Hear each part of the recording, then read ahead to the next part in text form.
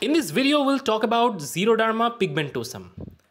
Xeroderma pigmentosum is a very rare skin disorder where people are highly sensitive to UV damage and they don't have a good repair system. The risk genes include XPA, XPC, D, G, and F. So all of these genes are actually involved in the UV repair system. So these are component of nucleotide repair system. So in this particular disease, the person get high exposure from the UV rays. There could be DNA damage due to the UV rays, but it is not repaired in an optimal fashion. And that lead to many complications and most worst case scenario is skin cancer. When genetics is concerned, this particular disease is autosomal recessive in nature. That means there is a 25% of chance that in the next generation somebody would be affected by this disease. Symptoms include thinning of the skin, visible broken blood vessels, dry and red eye, potential skin cancers, dark and light patches uh, uh, of pigmented skin, then sensitive towards light, especially sunlight, so in order to understand the biology behind this disease, we have to understand the process of nucleotide excision repair in bit more details. Nucleotide excision repair pr protects our uh, DNA from UV damage. When there is a UV damage, it forms this kind of dimers. So thymine-thymine dimer is a common lesion caused by UV radiation. And this kind of UV, uh, thymine dimer can distort the DNA architecture and this has to be repaired. And there are set of proteins that can sit and repair this kind of damages caused by harmful uv radiation. And that system is known as nucleotide excision repair system.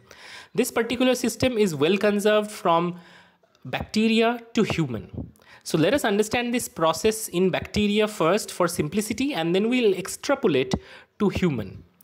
So imagine there is a, a dimer in this so the dimer is recognized by UVRA and UVRB protein.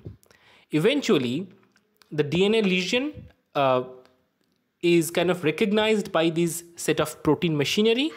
UVR loads UVRB in the recognition site.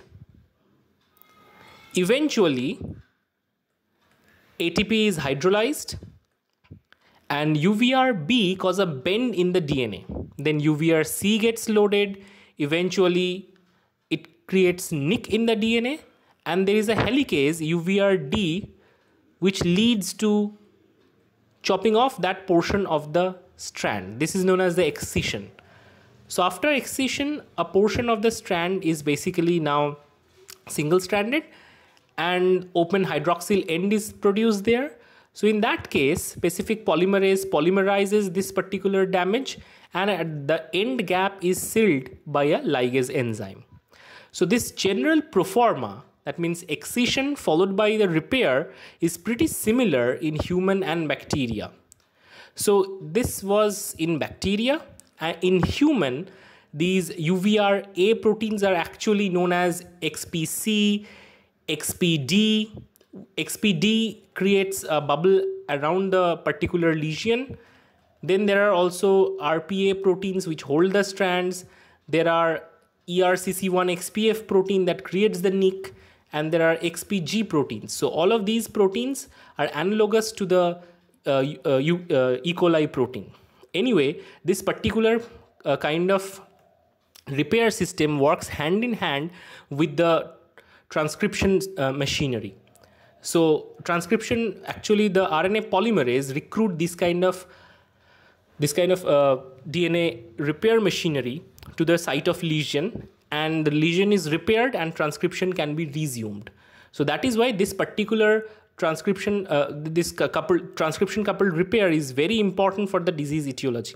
Now, if this particular repair is abrogated, then there are high risk of accumulating mutations there are also risk of changing gene expression modulation because these repair system goes hand in hand with transcription and that leads to many complications and the most worst is the cancer. So the treatment option includes protective gears like UV protective jackets, caps, sunglasses and sunscreen.